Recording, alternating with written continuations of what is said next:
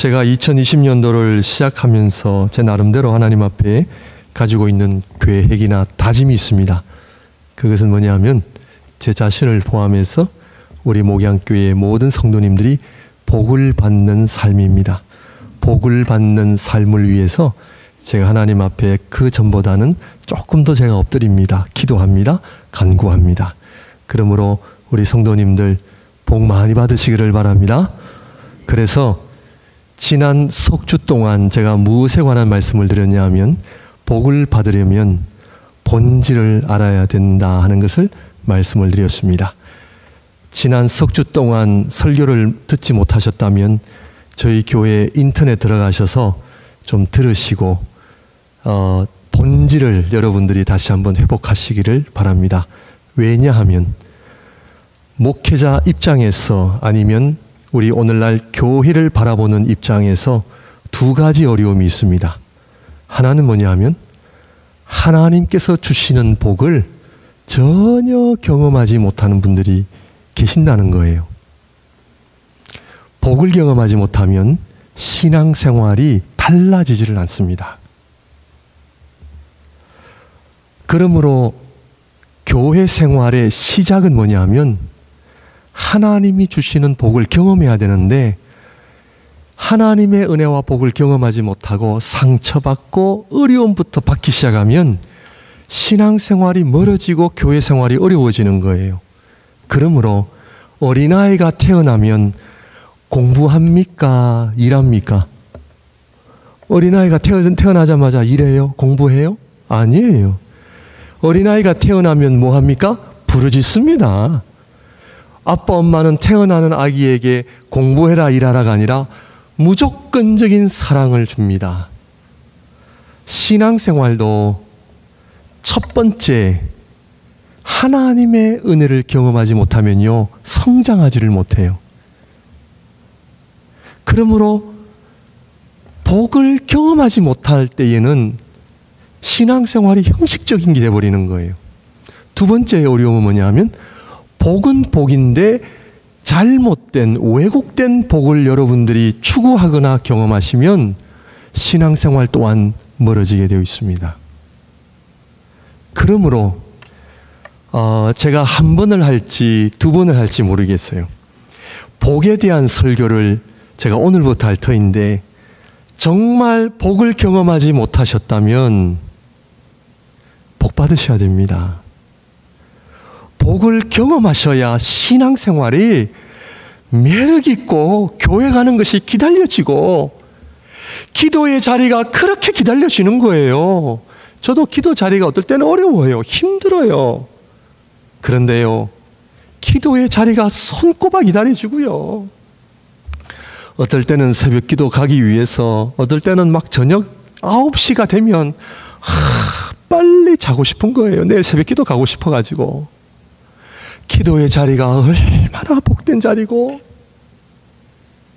하나님이 원하시는 복을 누려야 진정한 복입니다. 그러므로 제가 오늘 주소록을 지난주에 만들면서 한 가정, 한 가정 우리 박 집사님보다 잘은 못 만들었지만 그러나 가정, 가정마다 이름을 집어넣으면서 제가 그 한 장 딱, 어, 어, 한 장만 되면 안 되겠죠, 앞으로. 한 장 딱 집어넣으면서 한 가정, 가정마다, 가정마다 하나님 이 가정에 하나님의 복을 위하여 제가 기도할 겁니다. 그러므로 아, 복 많이 받으시길 바랍니다. 뭐 아멘이 시원찮습니다. 복을 받는 데는 어떤 분명한 이유가 있을까요? 없을까요? 저와 여러분들은 하나님 앞에 복을 받으셨다 생각하십니까? 아니면 복을 아직도 받지 못했다 생각하십니까? 그렇다면 복을 받는 데는 어떤 이유가 있다 생각하십니까? 아니면 복을 받는 데는 우연히 복을 받는다 생각하십니까?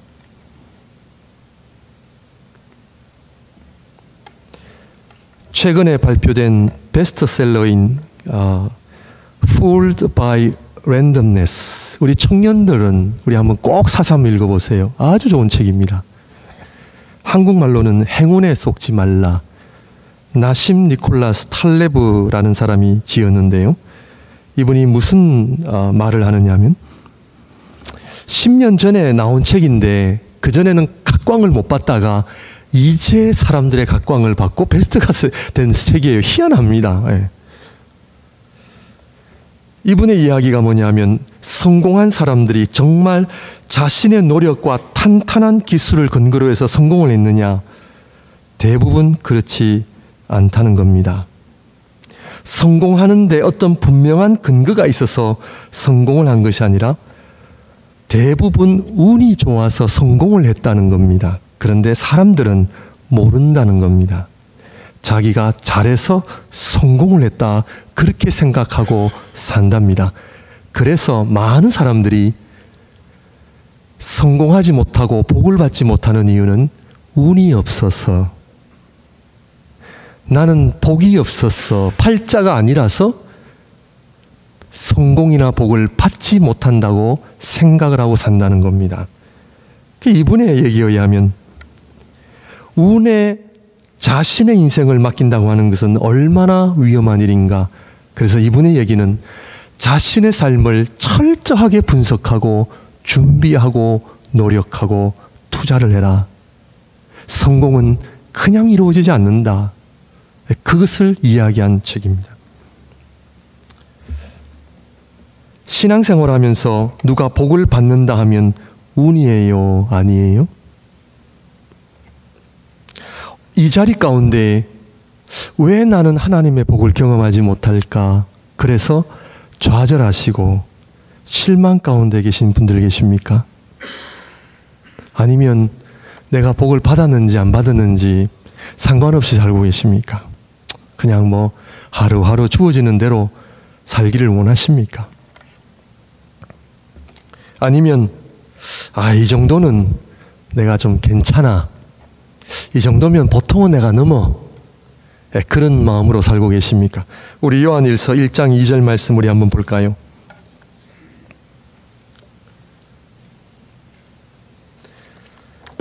태초부터 있는 생명의 말씀에 관하여는 우리가 들은 바요 눈으로 본 바요 자세히 보고 우리의 손으로 만진 바라 이 생명이 나타내신 바 된지라 이 영원한 생명을 우리가 보았고 증언하여 너에게 전하노니 이는 아버지와 함께 계시다가 우리에게 나타내신 바 된 이시니라 사도 요한이 예수 그리스도를 믿는 믿음을 어떻게 설명하느냐면 이 예수 그리스도에 관하여는 우리가 들은 바요 눈으로 본 바요 자세히 보고 우리의 손으로 만진 바라 믿음을 확실하게 가지고 있다는 얘기입니다. 저와 여러분들이 가지고 있는 믿음은 남들이 하니까 우리 아빠 엄마가 얘기하니까 많은 사람들이 교회 나오니까가 아니라 살아계신 하나님을 내가 분명히 경험한 체험이 있는 신앙생활 사도 요한은 주님을 보셨 보았기 때문에 그런 고백을 할 수 있다 생각을 할 수 있지만 베드로전서 1장 7절에서 9절 말씀 봅니다. 너희 믿음의 확실함은 불로 연단하여도 없어질 금보다 더 귀하여 예수 그리스도께서 나타나실 때에 칭찬과 영광과 존귀를 얻게 할 것이니라. 예수를 너희가 보지 못하였으나 사랑하는 도다. 이제는 보지 못하나 믿고 말할 수 없는 영광스러운 즐거움으로 기뻐하니 믿음의 결국 곧 영혼의 구원을 받음이라. 너희가 예수를 보지 못하였음에도 불구하고 너희의 믿음은 확실하구나. 오늘 저와 여러분들의 믿음은 어떠합니까? 정말 확신을 가지고 신앙생활하고 계십니까? 하나님의 살아계심을 믿으십니까?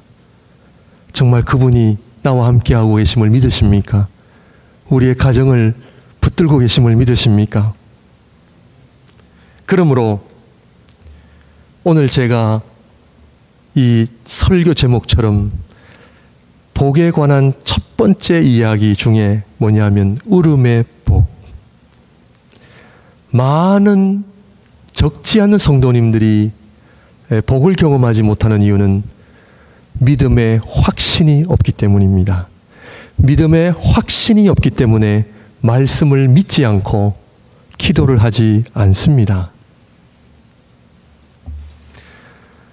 기대하는 마음하고 믿음은 다른 이야기입니다. 오늘 그 얘기를 하려고 합니다. 그러므로 우리 하나님은 공평하신 하나님, 심은 대로 거두신다라고 하는 진리의 하나님, 공평하신 하나님을 믿으십니까? 그렇다면 믿음의 확신을 가진 자가 하나님의 말씀에 순종하는 자가 하나님의 이름을 부르는 자가 기도의 응답을 받고 하나님이 주시는 복을 받고 정말로 하나님 앞에 하루하루를 믿음의 아름다운 간증으로 살 수 있다라고 하는 이 확신을 가지고 계십니까? 오늘 본문 말씀은 우리가 잘 아는 아브라함의 이야기입니다. 약속의 아들 이삭이 태어나자 아브라함의 첩이었던 하갈, 이 여인을 통해 낳은 아들이 이스마엘이죠. 학대를 하니까 쫓겨나게 된 겁니다. 오늘 말씀은 이 하갈과 이스마엘이 아브라함 집에서 쫓겨나는 장면입니다. 아브라함의 아브라함은 마음이 너무 좀 그랬어. 그래도 자식인데 그 하갈과 이스마엘에게 떡과 물 가죽 부대 하나 주었다고 그러죠. 그거를 주고 내보내는 장면입니다. 사실은 참 눈물 없이는 읽을 수 없는 장면이죠.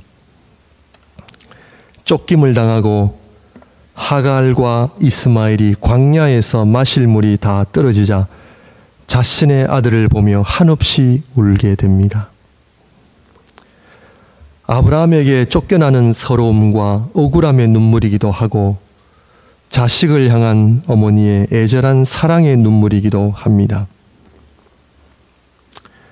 오늘 설교 제목처럼 복을 받는 첫 단계는 울음이다. 사랑하는 성도 여러분, 울어야 합니다. 조금 이따가 말씀을 드리겠습니다만 어떤 분들은 감정, 울음을 감정이라고 이야기하는 분들도 계십니다. 감정이 아닙니다. 지난 한 주간 동안 얼마나 우셨습니까? 하나님 앞에 기도하시면서 울어보셨습니까? 울음이 안 나오시지 안 나오신던가요? 어떤가요?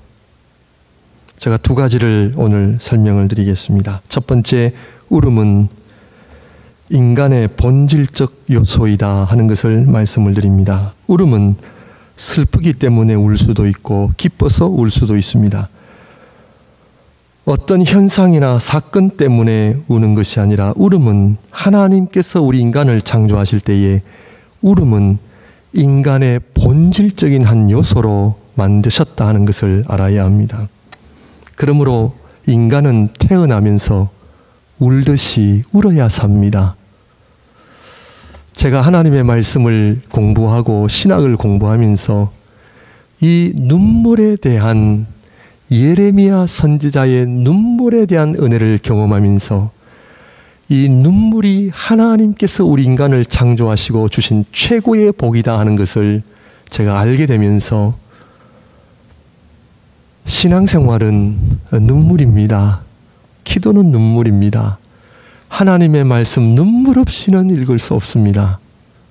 그러므로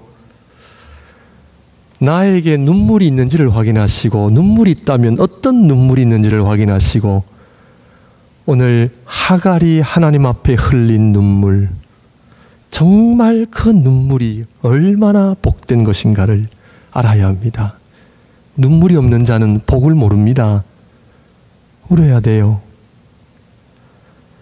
복 받는 가정은 첫 번째 걸음은 가정 안에 아빠, 엄마가 울어야 합니다. 자식을 위하여 울어야 합니다. 남편과 아내를 위하여 골방에서 눈물 소리가 나는 것이 복 받는 첫 단계입니다. 여러분, 열심히 일해보세요. 돈 많이 벌려요? 일 열심히 하지 마시라는 얘기가 아니라 내가 아무리 노력해도 안 됩니다. 가정 안에 첫 번째 그 가정이 복된 가정이 되려면 눈물을 회복해야 됩니다.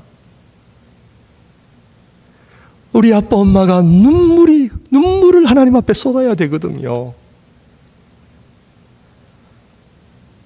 우리 자녀들이 아빠 엄마의 눈물을 배워야 됩니다. 싸우는 모습, 불평하는 모습 배우면 우리 자녀들 그대로 따라합니다. 우리 아빠 엄마가 눈물로 기도하는 거 보여줘야 됩니다.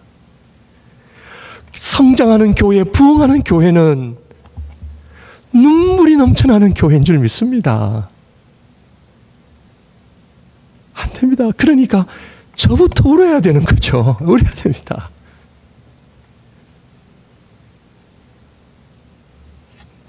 창세기에 보면은 아담과 하와가 낳은 두 아들들이 있었는데 가인이라는 형이 동생 아벨을 돌로 쳐 죽이는 살인 사건이 일어납니다. 가인은 하나님을 떠나게 됩니다. 예배를 잘못 드리면 믿음의 실패가 오고 결국 하나님을 믿음을 떠나게 됩니다. 예배도 여러분 드린다고 되는 것이 아니고요. 잘못 드리면 결국 믿음에서 떠납니다.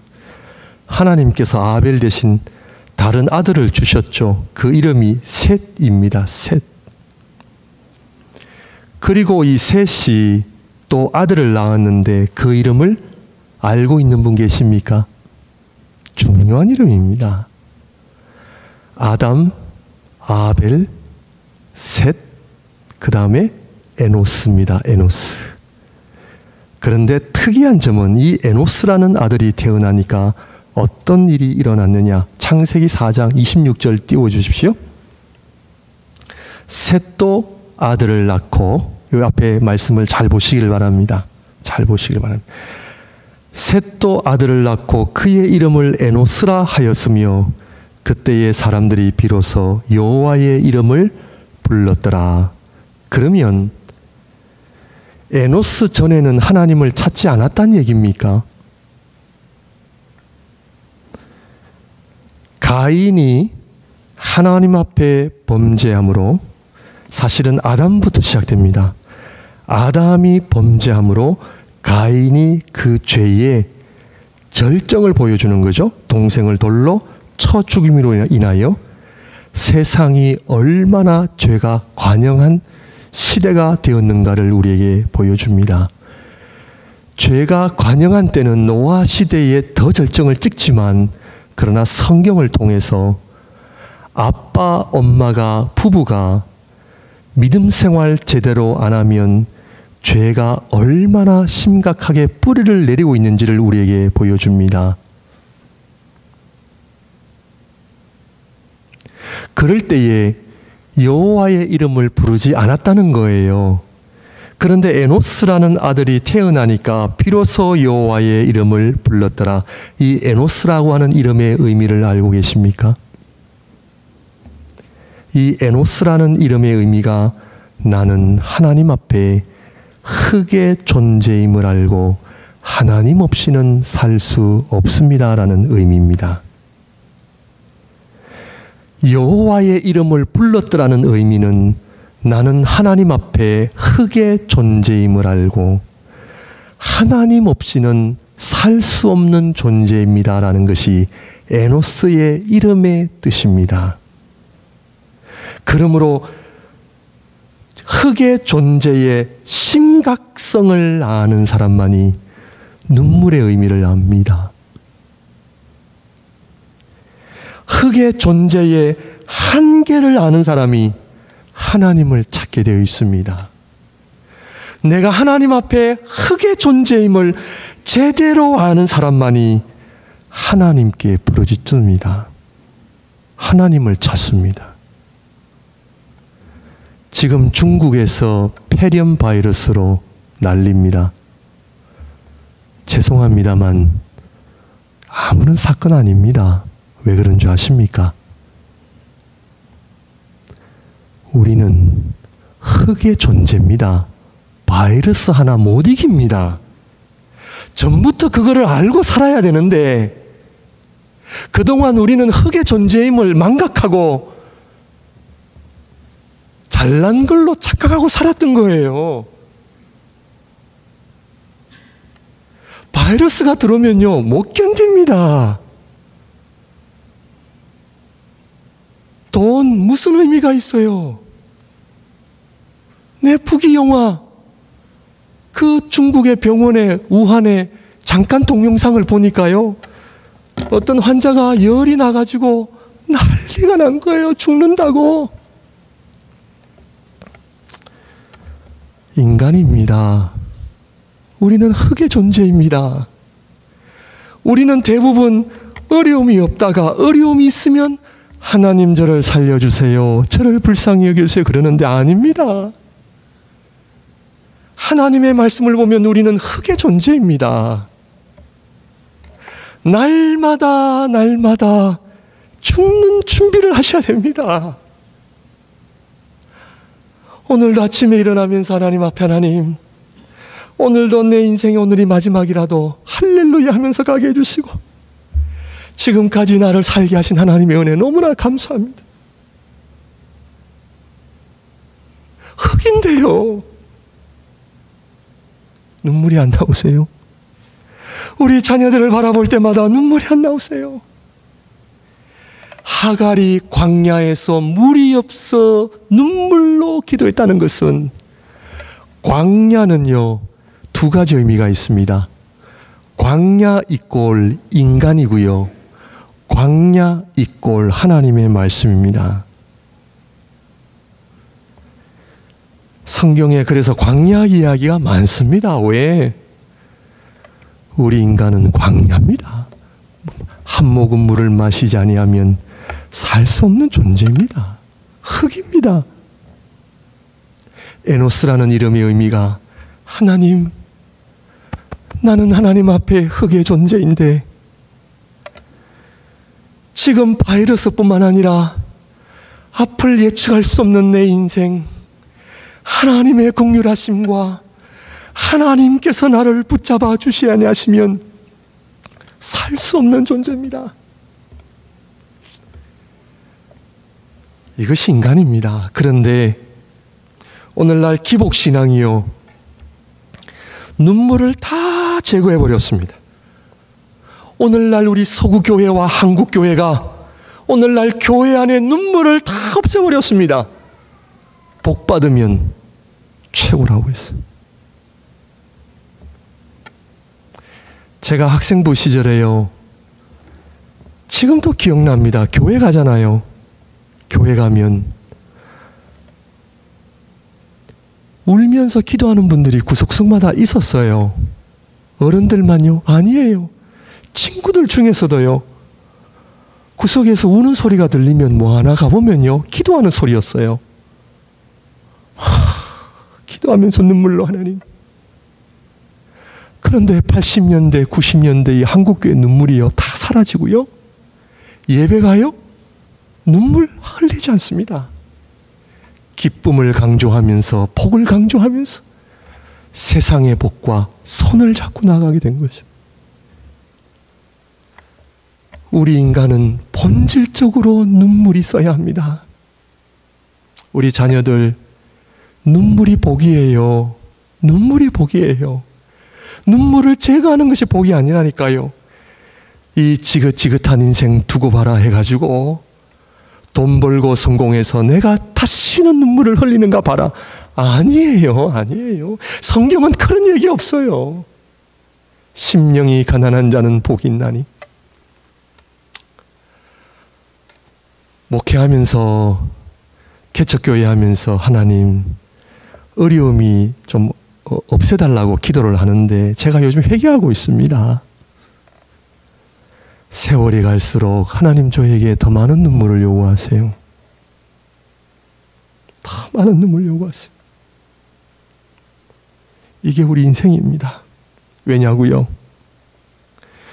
내 식구만 있을 때는 눈물 한 네 방울만 흘리면 되잖아요.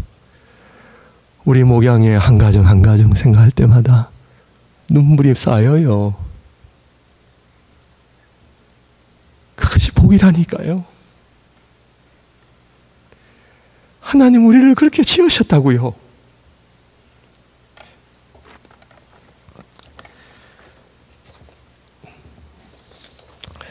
마지막으로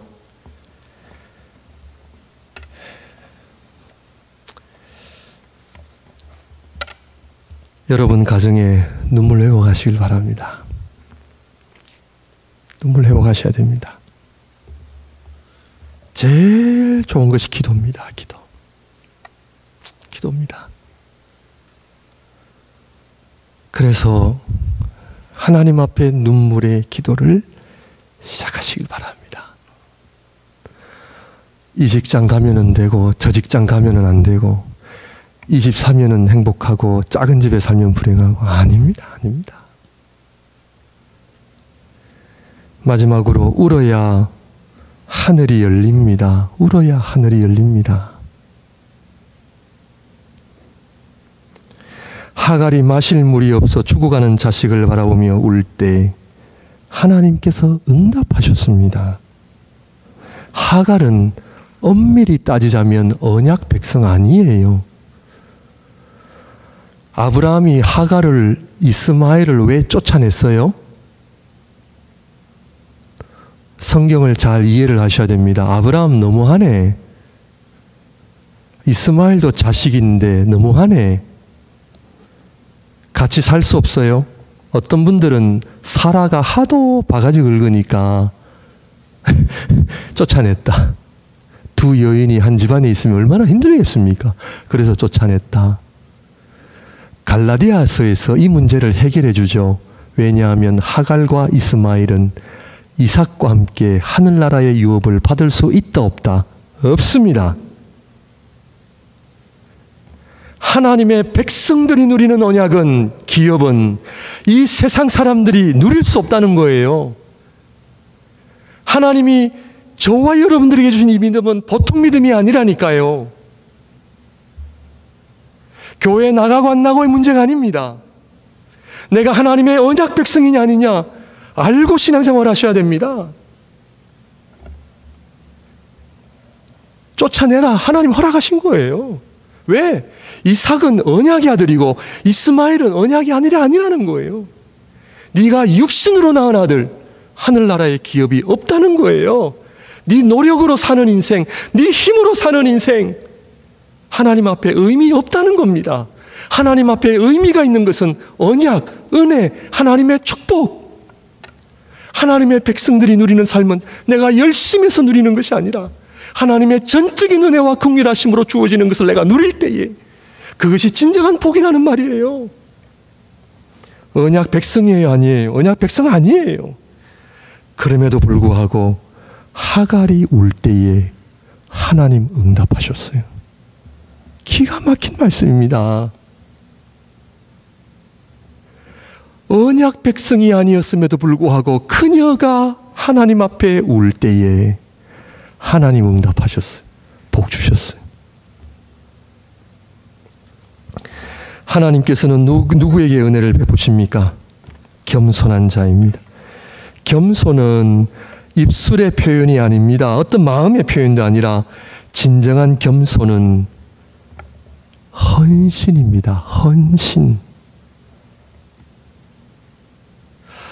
아유, 목사님, 제가 뭘요? 이게 겸손이 아니고요. 아유, 제가 한 것이 아니라 다 하나님이 하셨죠. 이게 겸손이 아니라 하나님이 기뻐하시는 진짜 겸손은요. 헌신의 헌신. 내 삶을 다 드리는 거예요. 어디에? 하나님 앞에 엎드리는 일에. 인간은 흙의 존재입니다. 흙에다 무엇을 주셨습니까? 하나님의 생명. 아멘이십니까? 네. 하나님의 생명은 성령이죠. 성령은 뭐예요? 불입니다. 불. 불입니다. 우리 선교사님 오늘 Holy Flames. 인간은 불이 없으면요. 병들고 죽어갑니다. 돌을 좋아합니다. 하나님께서 우리 인간을 흙으로 만드시고 이 하나님의 생기는 하나님의 생명, 성령, 사도행전 2장에는 뭐라고요? 불입니다, 불.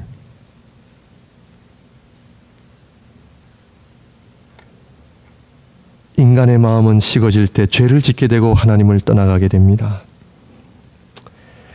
믿음은 우리 안에 성령이 임하는 것이요. 성령은 불의 역사입니다. 이 불은 감정이 아닙니다. 불 가지고 계시나요? 솔로몬 왕 앞에 한 아기를 데리고 온 두 여인의 이야기를 잘 알고 있죠. 이 두 여인이 자기 아들이라고 우깁니다. 이때 솔로몬 왕이 그 아기를 칼로 두 동강이로 가르려고 하죠. 이 이야기 잘 아시죠? 아주 유명한 이야기입니다. 그래서 두 동강이로 나눠서 한 부분은 저 여인에게 다른 한 부분은 저 여인에게 주자 해가지고 가려고 하는데 이때 진짜 어머니가 났습니다. 열왕기상 3장 26절에 보면 그 산 아들의 어머니 되는 여자가 그 아들을 위하여 마음이 불붙는 것 같아서 왕께 아래되 정하건대 내 주여 산 아이를 그에게 주시고 아무쪼록 죽이지 마옵소서. 그 아이를 바라보는 순간 뭐하여? 마음이 불붙는 것 같았어. 진짜 어머니는 마음에 불이 있다는 이야기입니다. 솔로몬의 지혜는 진짜 어머니는 마음에 불이 있다. 하나님이 보실 때에 진짜 성도는 마음에 뭐가 있어요? 불이 있어요. 하나님을 향한 불이 있습니다. 교회를 향한 불이 있습니다. 진짜 성도는 복음에 대한 불이 있습니다.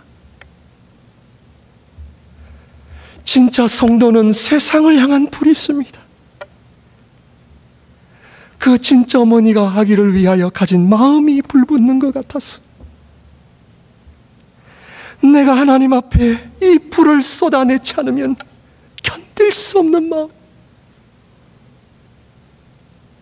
오늘날 하나님의 거룩한 성도들이 교회를 바라보면서 이 교회를 향한 이 불같은 마음이 사라지고 있거든요. 우리 부모님을 바라보면서 자녀를 바라보면서 불같은 마음. 이 불같은 마음 하갈이 그 목말라 죽어가는 이스마엘을 보면서 불같은 마음.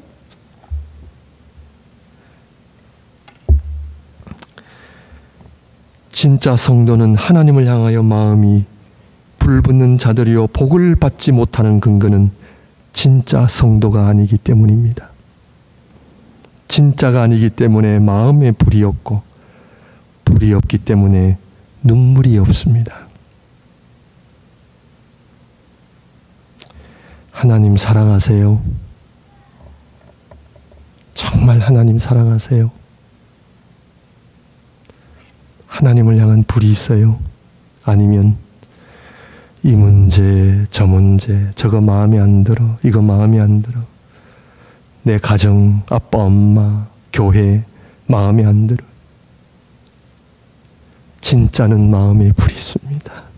마음에 불이 있습니다. 이 땅의 불쌍한 영혼들을 생각할 때마다 마음에 불이 납니다. 한 가지 비유하고 말씀을 정리하겠습니다. 탈무드에 나오는 이야기인데요. 이 땅에 있는 모든 영혼들이 어디에서 왔는가? 하늘에서 모든 영혼들이 사다리를 타고 이 땅에 내려왔다는 이야기가 있습니다. 탈무드는 성경을 이해를 하는데 좀 비유적인 이야기입니다. 성경 이야기가 아닙니다. 모든 인간들이 하늘에서 다 사다리를 타고 이 땅에 내려왔대요. 다 내려오자 하나님께서 사다리를 치우셨다는 겁니다. 사다리를 타고 내려왔는데 사다리를 하나님 치우시고 시간이 한참 흐른 후에 하나님께서 하늘에서 말씀하시기를 사람들을 향하여 이제는 다시 하늘로 올라오라 말씀이 내려왔다는 거예요. 그런데 많은 사람들이 하늘로 돌아오라는 음성을 듣고 올라가야 되는데 뭐가 없어요? 사다리가 없는 거예요. 이때 대부분 사람들은 사다리가 없어서 하늘에 올라갈 수 없다고 불평을 하기 시작하고 그 불평이 심해지자 결국 대부분 사람들은 하늘에 올라가는 것을 포기하기 시작했다는 이야기입니다. 질문드립니다. 탈무드에서 하는 질문입니다. 왜 하나님께서 사다리를 치우셨을까요?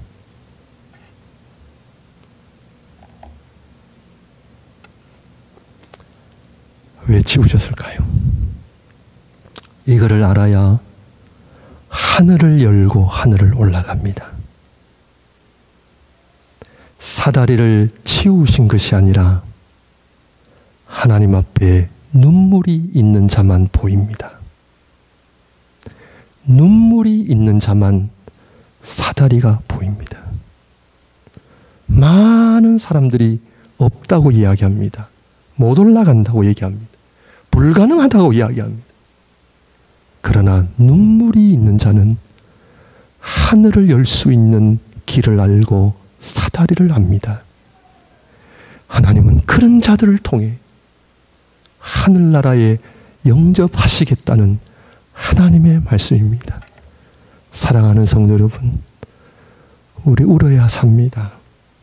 울어야 하늘이 열리고요. 울어, 울어야 하나님의 놀라운 은혜의 역사가 시작이 됩니다. 그러므로 여러분 가정 안에, 우리 교회 안에 정말 하나님 앞에 눈물이 넘쳐나는 그럴 때에 하나님이 우리에게 주신 최고의 기쁨이 뭔지 아십니까? 최고로 기쁠 때에 우리 인간은 울게 되어 있습니다. 그 눈물은 슬픔의 눈물이 아니라 놀라운 은혜의 복, 기쁨의 눈물인 줄 믿습니다. 기도하겠습니다.